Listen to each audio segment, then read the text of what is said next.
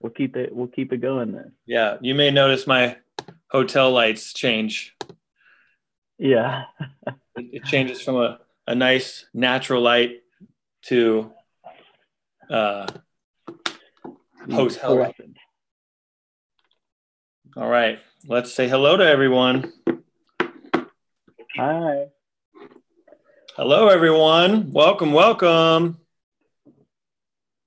We are happy you're here. Yeah. So, again, for all of you continuing to join, I'm Anthony. Hello. This is my I'm- brother, Andrew. Hi guys.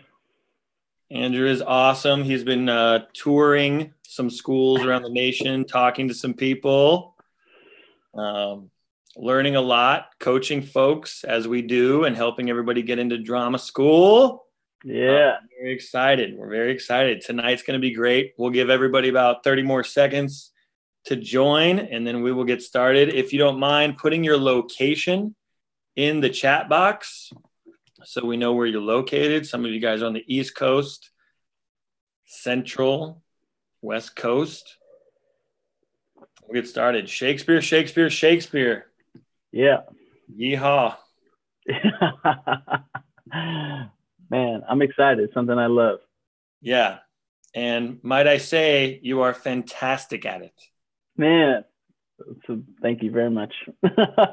Andrew uh, recently showed me a piece of his, and I was, I was very impressed. I have to yeah, man. I uh I was I was you know it's always good because you know you you have a lot of fun and if you have fun that's the key you know that's what I hope to get across today. Yes. So let's get into it, shall we? Yeah, please. All right. Well, I want to thank everybody for being here. Um, you are live here because you are getting into drama school. That is why we're here. Or you're a teacher who's helping people get into drama school. We are uh, actors and we were there. We were 17 years old, actors in high school, doing our best with what we had. We were passionate to no end.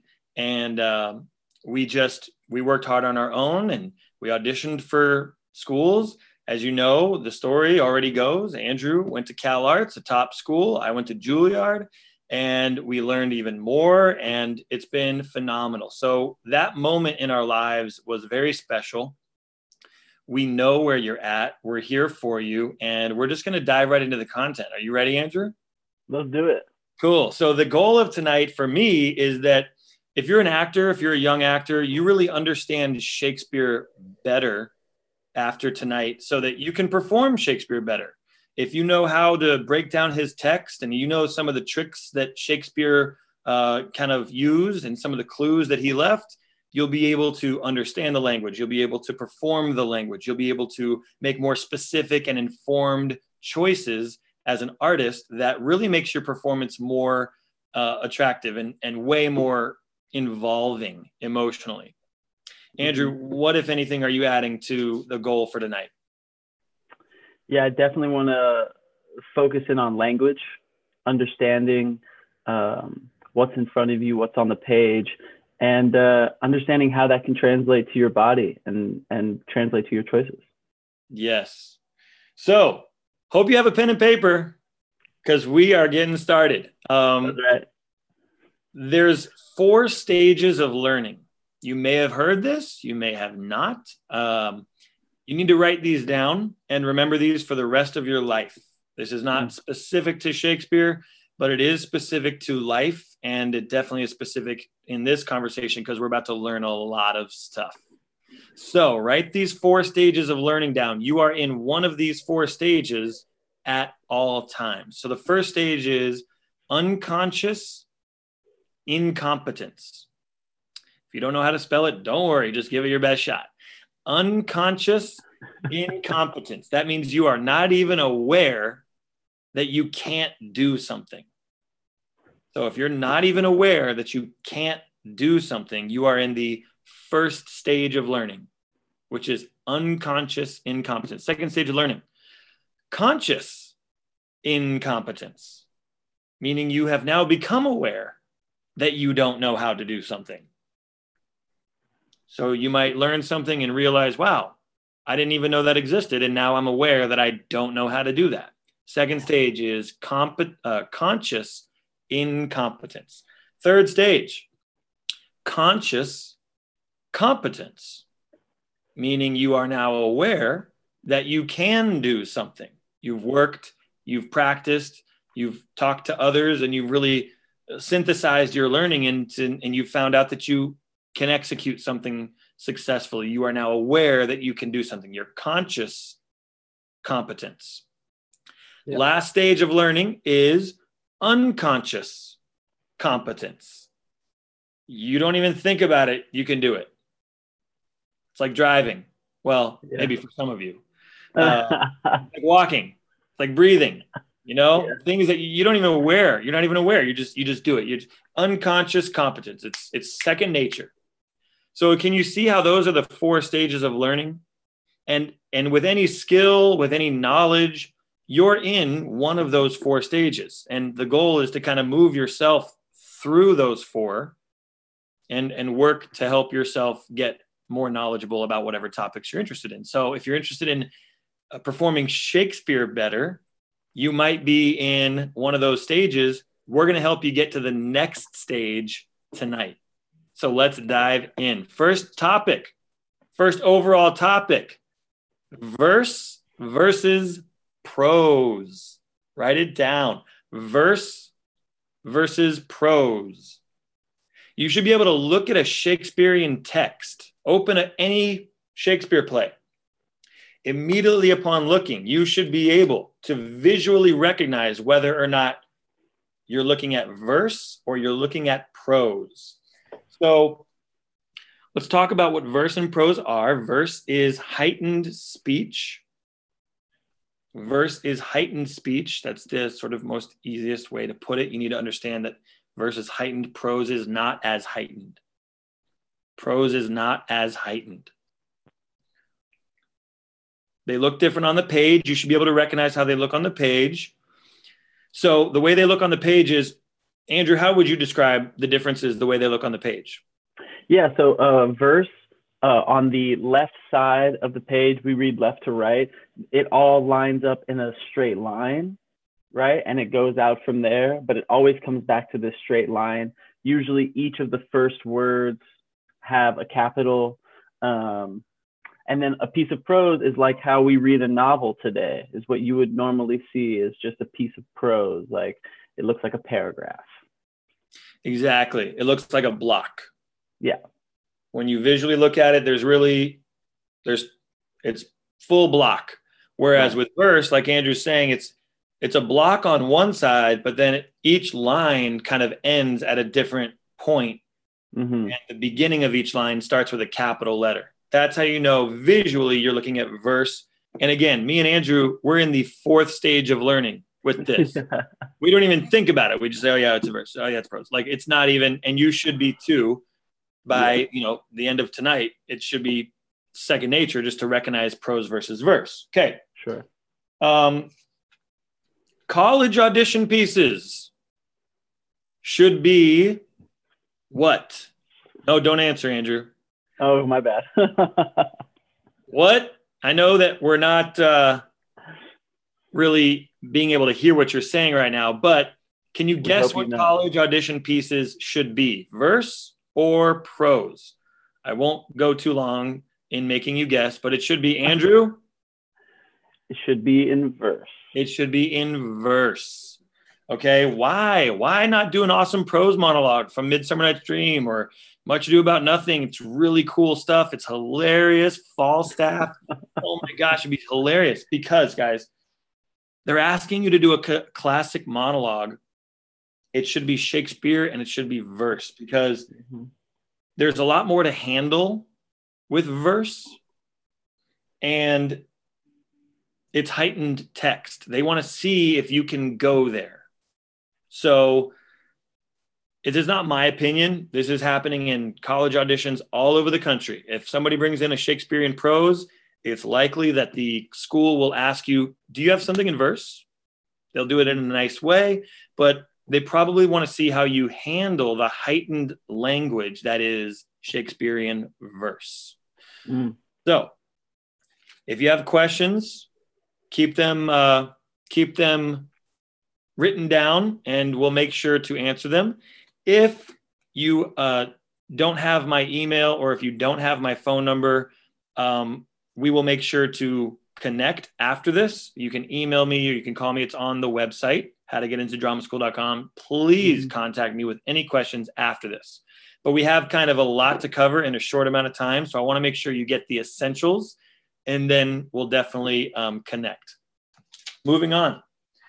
So, Andrew, um, give me one reason why a character may be speaking in verse as opposed to prose. Could be talking to royalty, or could be royalty. Um, could have that that place of class uh, in the class system.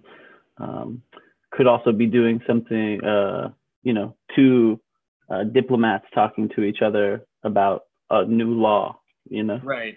So what Andrew's saying is that you could be showing respect to someone and therefore mm-hmm. speaking verse, or mm-hmm. you could be a person of higher social standing like a lord or a king or whatever and you you speak verse to reflect your your social standing and to display to others your felicit, facility of language mm-hmm. um, also like andrew was saying you might be talking about a specific topic that is very verse worthy mm-hmm. so and the reason we're covering this guys is because when you look at your verse monologues you may wonder, well, this character speaks in prose most of the time. Why is he speaking in verse here? Well, that's actually an actor choice. You need to understand. Important. He's not speaking prose right now. He's speaking in verse. That probably indicates to me as the actor, I need to either understand he's acting regal or maybe he's speaking mm-hmm. to someone way above him. You know, you mm-hmm. need to consciously make that specific choice. Why is he speaking in verse? Anyway, um, another reason is there's a very heightened emotional moment. Right. Prose speakers might switch to verse when they are just super zoning in on some sort of emotion. Um, there are a million different reasons why. And ultimately, it is up to the artist to make the choice. But Shakespeare does give you the clue. Uh, for example, when people are having witty banter, mm-hmm. you know, like um, in Romeo and Juliet, there's a lot of witty banter between oh, yeah. Mercutio and Benvolio and Tybalt and everybody, and especially Mercutio, like loves to banter in verse. It's part of. It's almost like a sport. So, yeah, he loves shared lines. He loves the shared lines in the verse. Works a lot better than in prose. Yes, shared lines is definitely something that is important to learn, but actually in college auditions, since you're not having any dialogue, it's dialogue, right, right, right, right. Your lines will be something you learn some other time. That's um, right. you don't already know what they are. Um, so, Andrew, why would give me one reason why somebody, a character, would speak in prose? Yeah, uh, if they're, uh, you know, if you look at a lot of the fools, they're trying to entertain or be funny, or you know, they are of a lower social class. But I think about, you know, when I think about prose, I think about uh, you know, Gobbo with his his uh, shoe and his dog. You know, he's a right. he's a performer. He's trying to make people laugh. He makes a living on it. So prose is easily understood by the high class and the low class. It can be something that can be understood by everyone. That's a great example. Maybe you're a prose speaker, but you're speak. I'm sorry, a, a verse speaker, but you're speaking in prose so mm-hmm. that the people you're talking to who are maybe lower social standing can understand. For example, Hamlet, when he right. has the speech called Speak the Speech, I Pray You, and he's mm-hmm. talking to the um, actors in the company, the, the, the, groundlings, they don't speak yeah. verse. They're not, they're, they're just groundlings and they're performers. Right. So they understand prose. So that's why Hamlet, who can speak verse, speaks in prose when he's talking to his groundlings because he's speaking plainly so that they understand right. it. Um, some other reasons people might speak prose.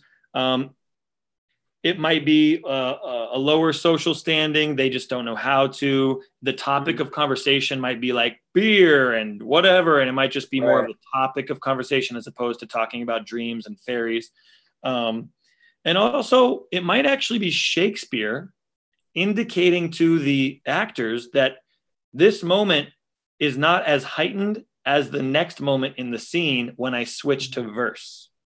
So that he might want the actors to play a little more casual or play a little more comical right before making a distinct switch to verse, at which point we should feel a different type of vibe or, or moment change in the mm. scene. So hope that makes sense. By the way, I appreciate the comments. Some people are, you know, chiming in. Oh, I wish um, I could see them. Yeah. Love you guys. All right. So continuing on.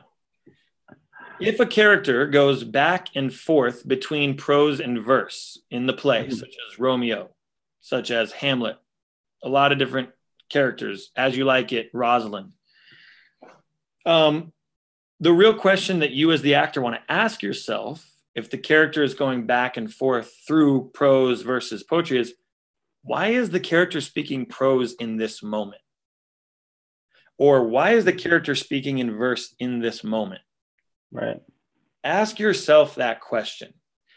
If you ask yourself that question, you will unlock your creativity and you will start to think, well, probably because he's talking to the Duke. So he's choosing to speak in verse right now because the Duke is in front of him. So he probably not only is going to be speaking in verse, but how would that affect your attitude? Mm-hmm. How would that affect your intention? How would that affect your physical gesturing? Right. It puts you in relationship to someone specific. And sometimes just knowing the text can give you that information. And this is where a lot of people who do college auditions, you know, just totally miss the boat. Right. They don't realize that this character that they're playing is actually more of a prose character if they read the play. Mm-hmm. But in this particular moment, they're speaking verse and they're not treating it like anything special, or they're not actually relating to the person they're talking to in a in a in a very high stakes way. Right. Would you agree, Andrew?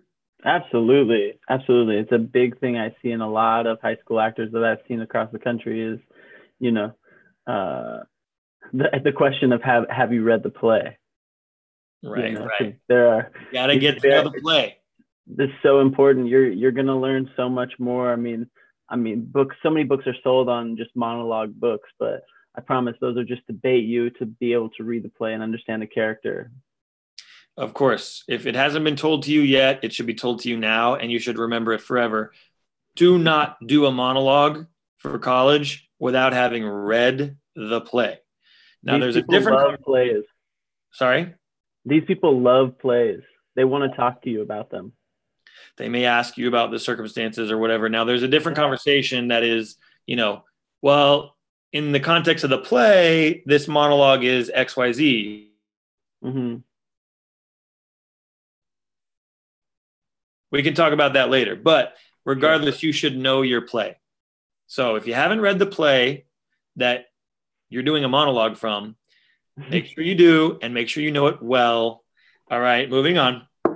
So, um, oh, so this is actually a great example when we're talking about um, switching from verse to prose.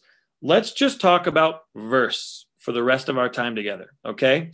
And and the reason why is because in college auditions, we know that they want us to do verse. And it, it is heightened language and it kind of shows off that you can handle heightened text more than verse. Mm-hmm. So, Andrew, what are the two types of verse? We got yeah. rhyming verse, rhyming verse, and blank verse. Write it down, everybody.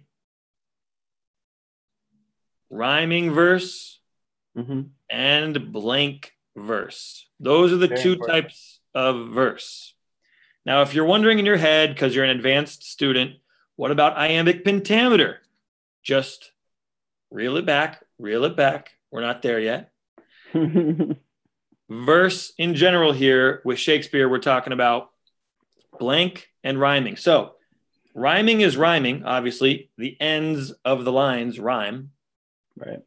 Um, blank verse is any verse that doesn't rhyme. Okay.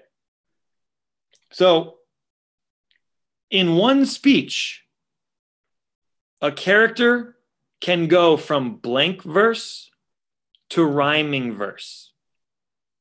Now, in your head, why? Well, the question is as an actor, when you're looking at that, you got to ask yourself, why? What's going on in the, the speech that would make him transition or her transition from blank to rhyming in that moment? What's going on? So, again, asking yourself that question will unlock creativity and you will make a choice of some sort that is like, oh, you know what I think it is? He's probably realizing that she's not going to be with him forever. So he works to get into rhyming verse to sound even more beautiful and do his best to keep her. You know, like whatever it is, you have to make a choice because mm-hmm. Shakespeare is telling you something. Shakespeare is giving you a clue by transitioning the speech.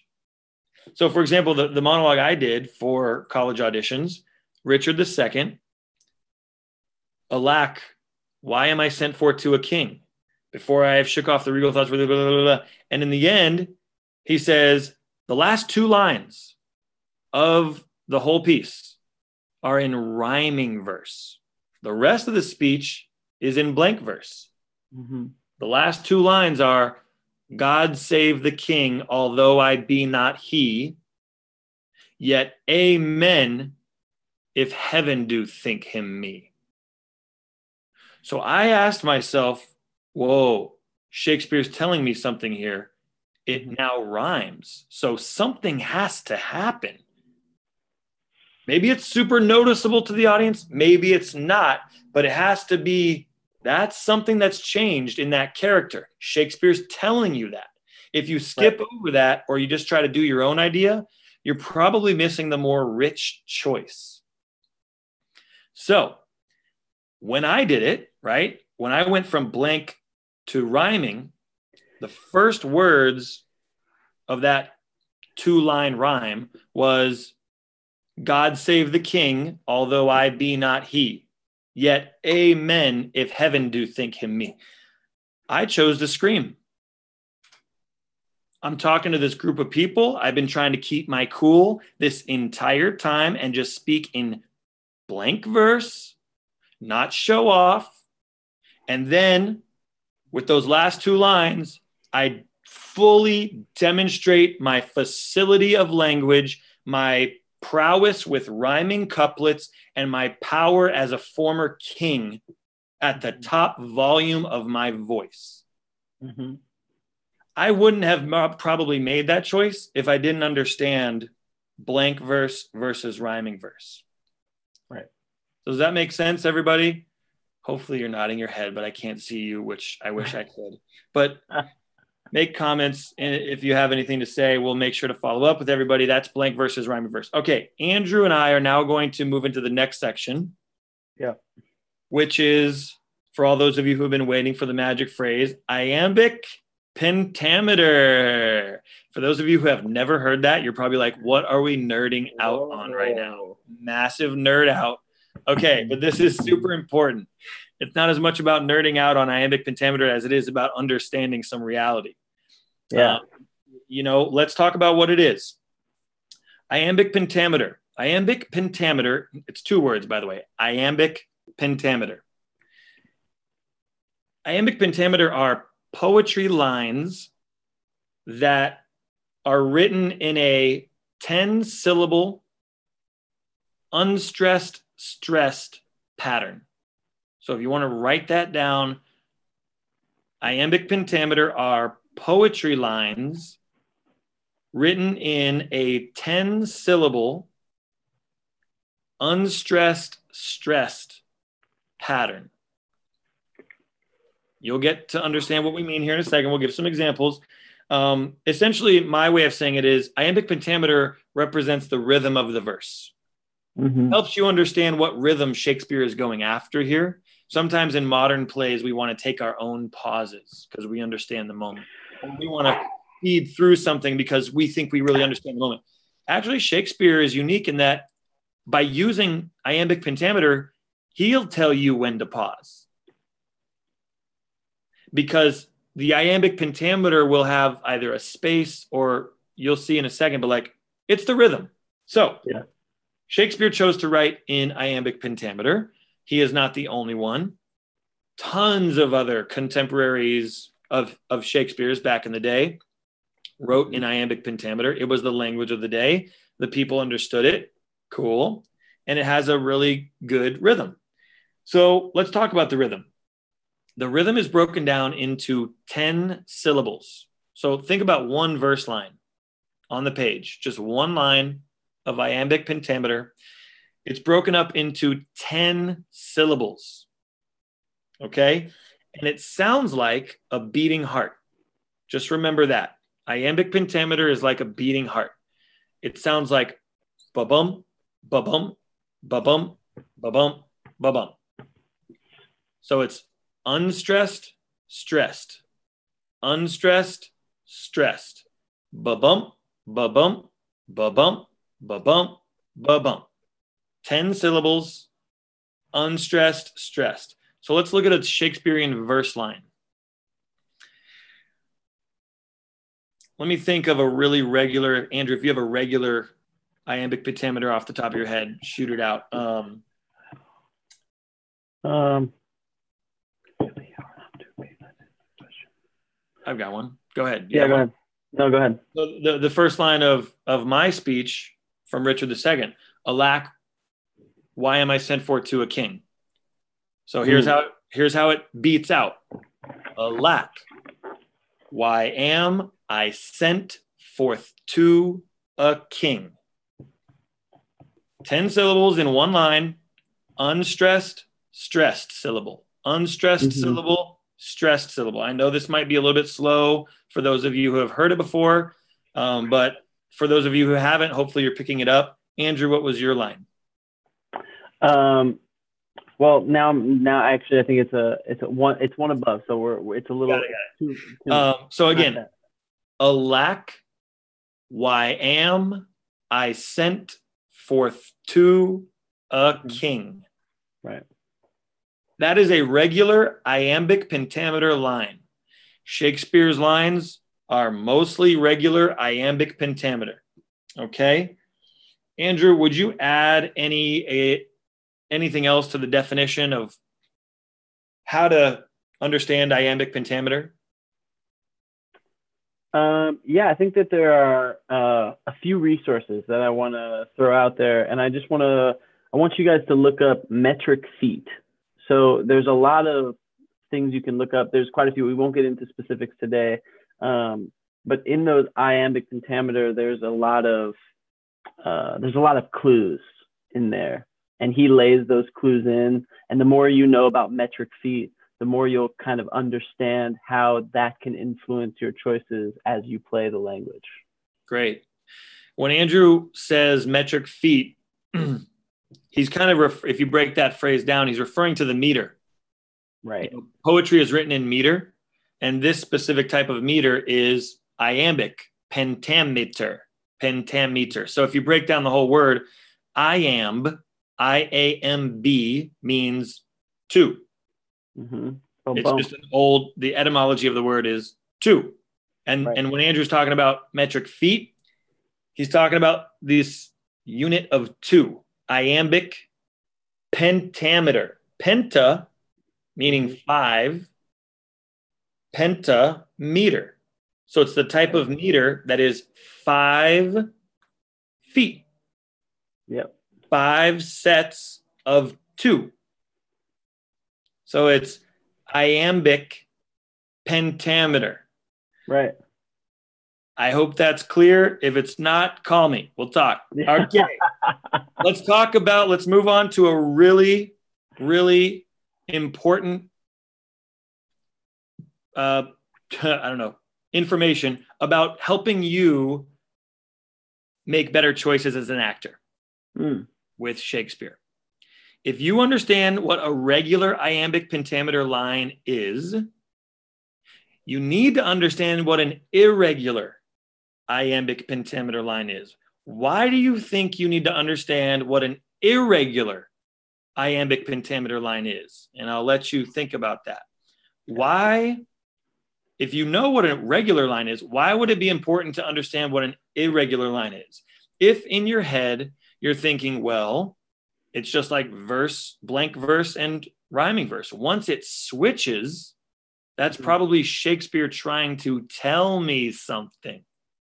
So when it goes from a regular iambic pentameter line to an irregular iambic pentameter line, it definitely is Shakespeare trying to tell you something. It's a clue. Make a choice. so here's what's good. Here's the good news. Shakespeare's been writing. Uh, Shakespeare writ, wrote, you know, 400 years ago, 500 years ago. Why can't I do math in my head right now? 400 years ago. People have studied his works for 400 years. Yeah. So, fortunately for us, there's a lot of just easy ways to understand the irregularities. Right. So, you need to make sure you understand the following terms, make sure you write it down. And when you recognize these irregularities, you can then make a choice as to okay, it looks like this character is doing something different here. So, Andrew. Yeah. Um, we're going to talk about the first term, and you're going to help them define it. Um, everybody, write down the word feminine ending. Two words. Sorry. Feminine ending. Yes, trochee. Well, trochee will be next. Feminine oh. ending. Feminine ending is the 11th. Oh, right, right, right. Yeah. You want to do trochee? Uh, yeah. Why don't you do trochee? All right, so let's stick with feminine yeah. ending for a quick second before we move on to trochee. Sorry what about is, that. That's okay. What is a feminine ending? A feminine ending is an extra syllable at the end of the line.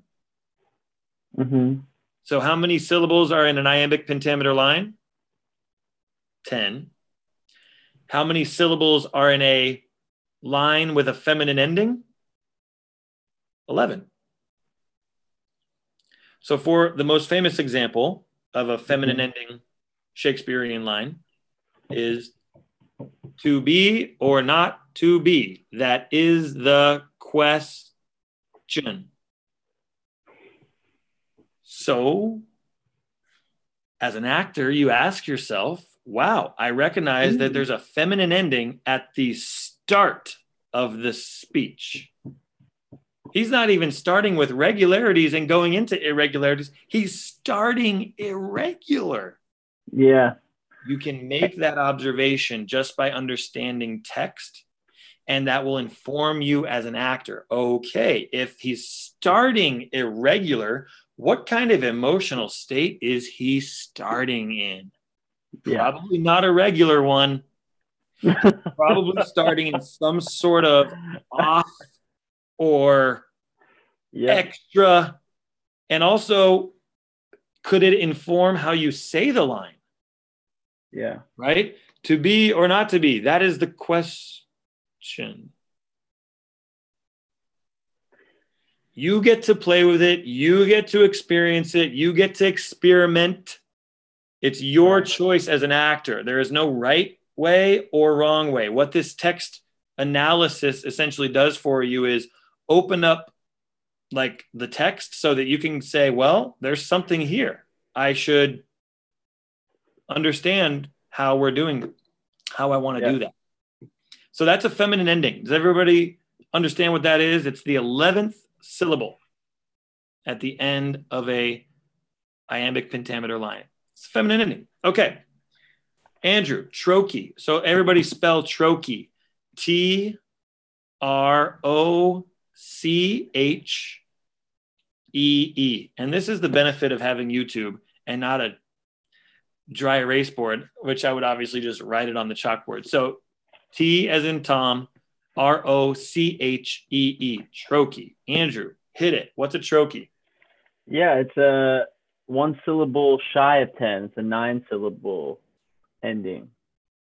Uh, so your line is, you know, your metric meter is nine syllables, which uh, can mean, you know, quite a few things. It could mean that uh, there, I think there's a few nine syllables in Romeo and Juliet when Juliet is on the balcony. it's a very high intense situation. You know, it's she's got to get it, you got to get out of here. You got to get like she's trying to end the conversation. So um, there there's a it's it's a reveal of circumstance in a lot of ways for me is what I look for nine syllables. Great, great, great, great. Now uh, let's talk about another term. Yeah. Write it down. Alexandrine. Yeah, yeah. Spelled A L E X A N. No wait. No. Yeah, I was right. Trust my right, A L E X A N D R I N E. Alexandrine. What is an Alexandrine? An Alexandrine is an extra two syllables at the end of the line. It's fireworks. So, fireworks. how many syllables are in an iambic pentameter line? 10. How many syllables are in an Alexandrine line? 12. Remember when Andrew was talking about metric feet and how there's five metric feet, mm-hmm. five like iambs, and Alexandrine is six. There's six metric feet. So, what does this mean if I see an Alexandrine? It means that, I mean, it's up to you. You're the artist. But here's what a lot of wisdom has taught us about when Shakespeare writes this in. It's typically because a character is overflowing.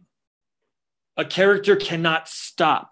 A character will probably not pause after an Alexandrine. They will run right into the beginning of the next line and it will mm-hmm. be an overflow. So that probably also tells you something about their emotional state. It's just, you know, it, it can't be stopped. Maybe stream of consciousness type of speed. Um, right. Now, this is not a hard and fast rule, guys. None of this is hard and fast rules. Like, okay, so if it's a feminine ending, I have to go question.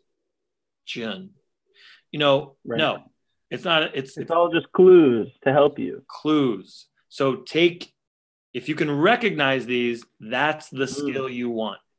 And then once you recognize them, you as the artist get to say, okay, I actually see why he is having an Alexandrine there because he's probably furious and he's ripping the person he's talking to. So yeah, then you get to do that. Now you yeah, understand what choice you're going to make because Shakespeare gave you the the clue. Now you can feel free to rip that person you're talking to apart and not stop when you move to the because you're you have an Alexandrine line. Okay. Um, Okay, let's talk about monosyllabic lines. So, everybody write down that term monosyllabic. And by the way, before we get into this, I want to answer a question that um, Christian uh, texted or put in the comments. He said, Do we have to use this rhythm when performing the monologue? it's a good question. Like, in other words, do you have to say, like, alack, why am I sent for to a king? Um, to be or not to be? That is the question. no, please don't do this, Christian. Um, do not, uh, this is actually a good teaching moment because it's important that you do not show your text analysis in your performance. Very, very true. Not show your text analysis in your performance. Your performance is about the rich emotional life of your character and what they want. Mm-hmm. That's all an audience should be witnessing. If an audience thinks to themselves, wow, is that a feminine ending? you're not there really doing what you're trying, the character's doing. You're not really in the emotional, you're not doing what the performance is. Right. So these rhythms and irregularities are just there to help you understand where the character could be going in this monologue. With that being said, when it's time to perform, you hopefully have done all your homework and it's mm-hmm. solid in you. Right. So that it just, you roll with it. Okay, back to our terms. We're almost done here. By Mhm. the way, our goal is to be done within the hour. So seven o'clock, we're going to be done. Uh, we might get done before that because I think we're a little ahead of schedule. So I think we're doing Hey. very good. Hopefully, everyone is keeping up. I want to check in. Is uh, give me a thumbs up in the comment thread or give me a some sort of comment with how you're doing. Is everybody present uh, as we move forward? All right. So, Andrew, um, monosyllabic lines. Everybody Oh, yeah. spell out monosyllabic. It's one word M O N O S Y L L A B I C. Monosyllabic. What is a monosyllabic line, Andrew? Yeah, it's um, one syllable words, 10 one syllable words. So uh, if we take to be or not to be, I mean, those are all, that's a monosyllabic line until the end. Right? Right. Uh, which is a huge like and you should see these things and know that monosyllabic you know the way it was described to me just means slow down. Take your time and really understand what is happening in front of you you know? To be or not to be that is the question. You know what i'm saying? It's like those are there's a lot of them throughout Shakespeare, especially in these profound moments in these characters' lives or in their circumstances or in death or in new life or in marriage. Monosyllabic is something he uses quite often. Right. So if you recognize that a line has only one syllable words, the whole line, that should stand out to you. Uh oh, we have a monosyllabic line here. Mhm. Andrew said slow down. I think that's fair. It should probably also clue you to the fact that it's like columns boom, boom, boom, boom. So not just the rhythm of slowing down, but more the the weight, I like that. I like that a lot. the weight of the word. I'm trying to think of a line in my Richard II speech. I think there is one. Um, Yeah, I'm- thinking about. I'm thinking through it too. let's come up with a monosyllabic line here, real quick. Uh, yeah, it's uh the last. Um, oh man, I mean, uh, of course, put on the spot. Um,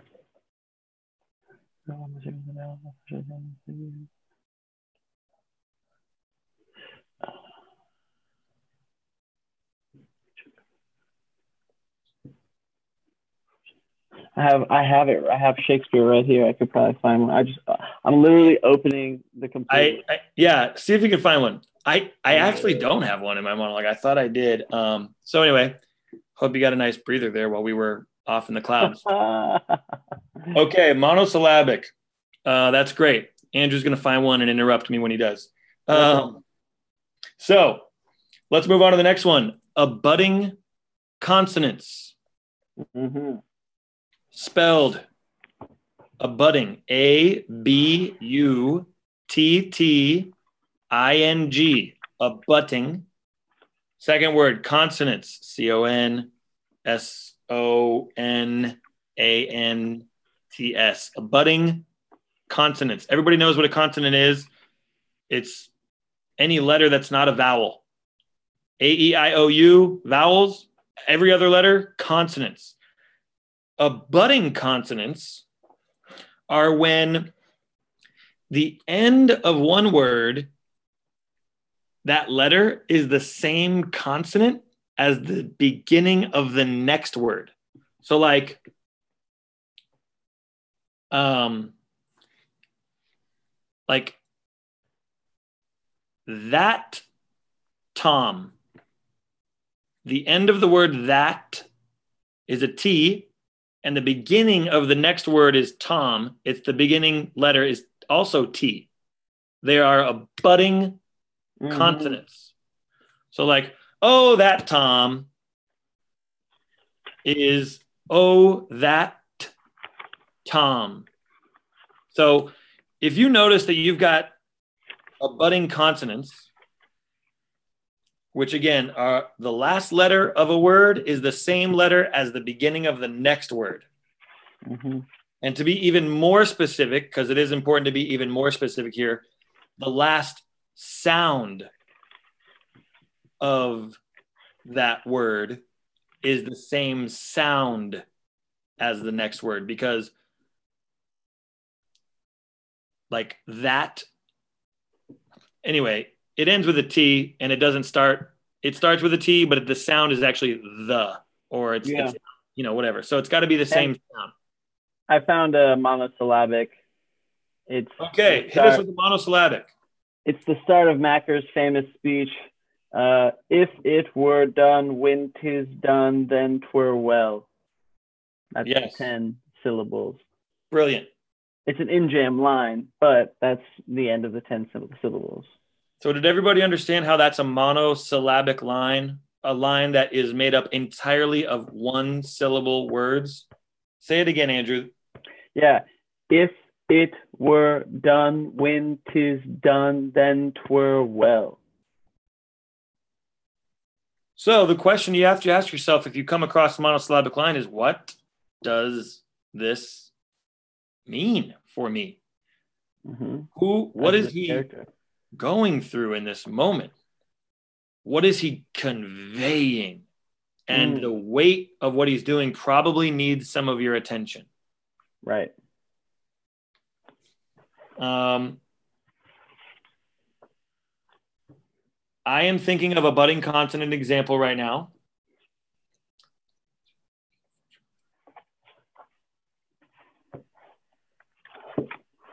Budding consonant. Okay, I got one. okay. So in my monologue, um, I say my one of the lines is "Give sorrow, leave a while, to tutor me to this submission." Mm.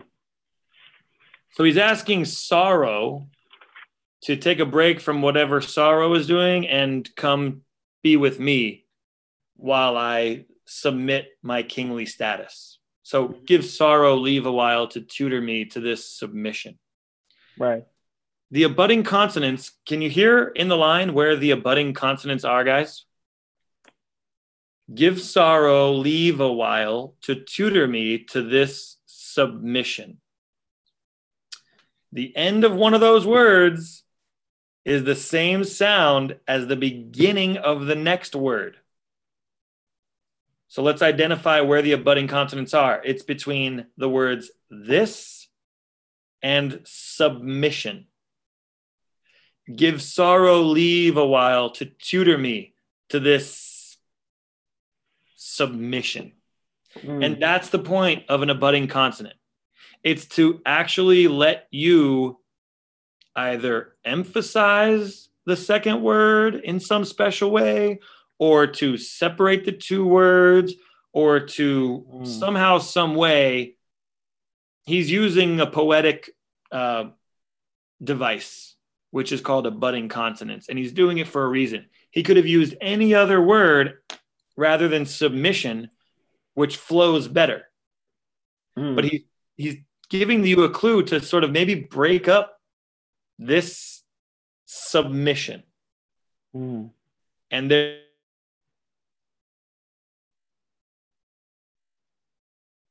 actually choosing the word submission he Mm. could have chosen any other words but because he, of who he's looking at he wants to really drive it into their hearts.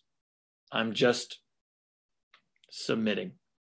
Give sorrow leave a while to tutor me to this or maybe he can't come up with it this submission right? Hmm however you want to do it but just recognize oh abutting consonants. Let me play with that Right. all right oh my gosh guys can you believe it we have one more word that's it Excuse me. you're uh, taking your headphones off to not make that lighter Oh no. Dang it. um, but bless you Thanks, man. Okay, um, last word, Caesura. You guys are learning a whole new language. Um, Caesura, if you have not heard of this word, I'll spell it out for you. Please. Uh, C A, what? C A, yes. C A E S U R A. So a caesura. Yes. You'll sound fancy when you say it. Caesura. Oh, was that a caesura? um, what is a caesura? A caesura is found in most verse lines, pretty much every verse line. Yep. Um, but not it's not a rule. But pretty much it's in every verse line. It's uh it's a natural but brief pause. hmm Okay. Wherever you kind of it, it can be found in the middle, it can be found towards the end of the line, it can be found towards the beginning of the line. It's a natural but brief pause. Okay, we're not going to milk this pause, but it often helps the actor to control the flow of thought. It helps the actor to make sense of what they're saying. It helps the listener to really receive the thought. So, in the since we're just beating uh, to be or not to be, you Yeah. know, like a dead horse. We'll go with that one. So, where would the caesura be in the line to be or not to be? That is the question. Think to yourself if a caesura is a natural but brief pause, hmm where in the line would the caesura be? To be or not to be? That is the question. If you're thinking to yourself, right before the word that and right after the word be, you would be correct. So it's to be or not to be. Caesura. That is the question. So again, it's not going to be a long pause. It's a yes, correct, Anita, after be. hmm Um, great. Good job, everybody. So to be or not to be. It's not a long pause. Okay. Please, for the love of Shakespeare, do not make the caesuras a long pause. Right. If you have not already watched a Shakespeare play and felt the anger as an audience member at way too many pauses in Shakespeare, then just go with my advice and do not make a long pause when your caesura happens. But Right. Use the natural pause to make sense of something. So, in the line, the, the first line of the speech that I used, which was, Alack, why am I sent for to a king? Alack, why am I sent for to a king? Where Mhm. would the caesura be in that line? Would it be towards the end? Again, the line is, Alack, why am I sent for to a king? Would it be in the middle? Would it be in the beginning? If you're thinking towards the beginning after the word alack, you would be correct. Hey. So it's alack. Why am I sent for to a king? Not alack. Why am I sent for to a king? Or not mm. alack. Why am I sent for to a king? Hmm Some choices there, some choices to make. But again, those are not natural. Right. You want to put the caesura where the natural brief pause would be. And if that helps inform your delivery, if it helps inform you as an actor and where your character is at, use it. Right. Again, exactly. Everybody is saying after a lack. Great. So that is the end of the irregularities. You've got your terms, and we are on time. Uh, I hope you all have learned something today. We're not done. We're going to give you a couple resources so that you Yeah. know what we were using when we were studying, uh, uh, sorry, preparing for college auditions. Right. And you know, when we have our monologue of Shakespeare in front of us, we also have some resources next to us on our desk. Always. And uh, I didn't know about these resources until somebody more experienced than me told me, "Hey, why don't you have X, Y, Z?" So we we uh, believe that there are some essential resources that you need to have in your library and on your desk if you're wanting to be serious about giving Shakespeare your best. So, Andrew, what are some of the resources we have? Yeah, I have them on my desk right now, actually. Um, first okay. and foremost is my complete works of William Shakespeare. I trust the Norton. That's just something that CalArts was very adamant about. They uh, they really like Stephen Greenblatt, which is one of the editors here. Um, he also wrote an award-winning book called Will in the World by Stephen Greenblatt. He uh, this is an incredible book uh, about how Shakespeare became Shakespeare. Gives a lot of background about you know the time, the writer himself. I mean, the more I learn about him, the more I understand about the characters he was writing. That's a great resource for me. When I'm trying to find monologues, especially Shakespeare, um, and I want to look into plays that I haven't read before, I don't have much exposure to, I love this book called Speak the Speech. It's um, it's an actor's toolkit. I mean, it, it really. I'll kind of just throw it up here real quick. Um, it's really, really solid book. It has all these monologues.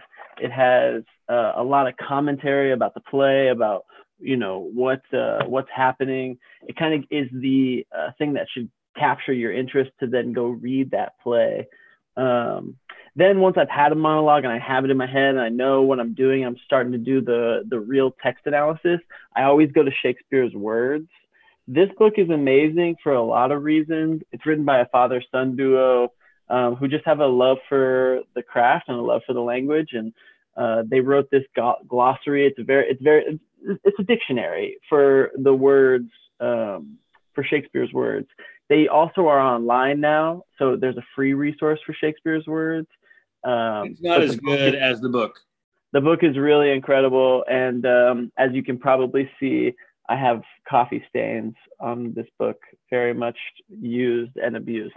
Um, also, Shakespeare's uh, Shakespeare A to Z. Love this one. Uh, is an incredible book for a lot of reasons. This is like their their tagline for this book is Shakespeare A to Z, the essential reference to his plays, his poems, his life and times and more. It's really an open-ended book. You're gonna, if you're looking at Hamlet, you're gonna read a lot about what was happening in Shakespeare's life when he was writing Hamlet, you know, and those things influence, just as we are artists today, the things that are happening in our world influence us and our work. This man was the same way. The things that were happening in his life influenced his work. He wrote about them. Um, so it's important to understand the history and where where he was. This book really helps me do that. Um, also, the last thing really uh, and this is something that I really got in school, so I don't expect a lot of you to have this resource, which is why I think to give it now. But uh, it's Edith Skinner. It speaks with distinction. Um, when it comes to language and, and, it comes to my speech and how I deliver these lines, I really, really, really use this book all the time.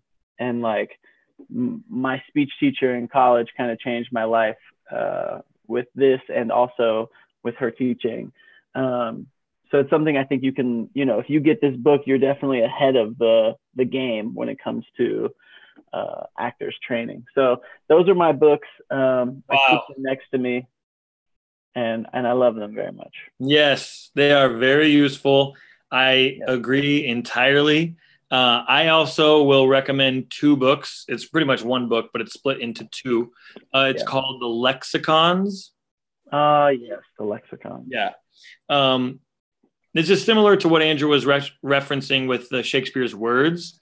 Yeah. Um, but lexicons are really just Shakespeare dictionaries.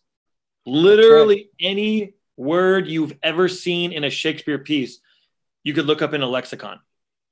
And it's good to do because honestly, a lot of the words that you see in Shakespeare's plays, you might think mean something today that had a completely different meaning when he wrote it. Exactly, like the word wherefore. Exactly. So if you see in Shakespeare the word wherefore, you might think that that means like where or yeah, where to. Right. But when you look it up in a lexicon, you realize it just means why. Right. So like when somebody says like, "Wherefore art thou?" Or no, they would never. They they they they would say like, uh, I, I am blanking right now, but No, no, we got you. I got Look you. in your speeches. Wherefore is why, and I would never have known that unless I had a lexicon. Right. So lexicons come because they're so huge. They come in like A through M and N through Z or whatever it is. So get Right. both lexicons. also a good example of that is that definitions change over time. So like Shakespeare created words, he invented words. The word assassination uh, in Macbeth's actually to him has a different meaning than what we identify as the current thing. Similar, but yet different, and actually could influence a decision that could be made on how you as that character says that line. Because you've looked up well in shakespeare's time it meant this and today it now means this right? We understand the difference. And it's no- knowledge is power exactly knowledge is power. If you have this knowledge, it gives you more creative freedom to make choices that you may not have had available to you had you not really understood, you know, the etymology of that word or whatever. So, look, guys, you don't need any of this. You can just do Shakespeare however you think Shakespeare should be done. You are in the right to do that. Your choices without any of this knowledge are completely valid. And so is every other actor out there who's, you know, performing his words. Mhm. You don't need this. But this is something that helped me. This is something that every advanced actor will tell you is essential to Yeah. their Shakespeare approaching Shakespeare. And we just want to give it to you because it was given to us. Okay. Right. So when we talk about resources, the last resource and the most kind of available resource to you is us right call me, text me. Um, no, really though, you guys, some of you have called me. Um, we've emailed a lot of us. Um, obviously, those of you who are in sessions, we're obviously in touch. So continue to use us as a resource. Do not hesitate to email me a question. And if you have something for Andrew, just let me know so I can put you in contact with Andrew. But I'm sort of the official go through. Um, so if you have a question for Andrew specifically, just just just let me know. I'll make sure Andrew connects with you. But he he coaches a lot of people as well, and he, he does other stuff too. So he's kind of on an as needed basis. Um, Right. so I want to thank Andrew for being here tonight. Thank you so much, Andrew, for your knowledge, course. and for your what you do, your commitment to the work, and your willingness to share. You you do Absolutely. fantastic with with all these um, students. thank you Um, and with that being said, I personally thank everybody. You guys are the reason why we're here. Uh, we know where you're at. We we've been there. Thank you for being passionate about the work. Thank you for uh, showing up and and watching this and taking notes. It shows that you want to be better. And I Yeah. think that we underestimate like that. Schools want that. Schools don't want perfection. They want someone who is willing to put Right. their full imaginative instrument to use. So I hope what you've learned tonight will help you put your imaginative instrument to use. It will help you play and it will help you make choices that, you know, bring your Shakespeare work up and more new, uniquely you and more authentic. And we'll see you in the coaching room. hey All right, guys. Have a great night. You guys can sign Bye, off. If you have any comments, leave them. And uh, I can't wait to hear from you. yeah See you soon. bye Signing off.